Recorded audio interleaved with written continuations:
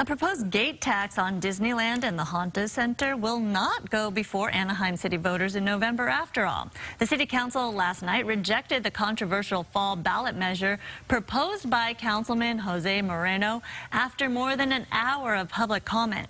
A city report says the 2% gate tax would have raised up to $82 million a year.